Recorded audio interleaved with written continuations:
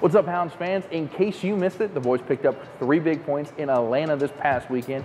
Four different Riverhounds players scored, and even one from the other team decided to jump in on the scoring party.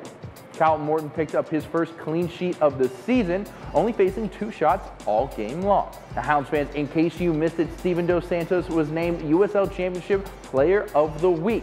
So head over to riverhounds.com to check out the highlights of his performance versus Atlanta United 2 and Riverhounds fans, in case you missed it, this Saturday is Blackout Highmark Stadium night. So the first 1,000 fans through the gate will get one of these t-shirts that I am wearing right now. So make sure you arrive early so you can get yourself one of these.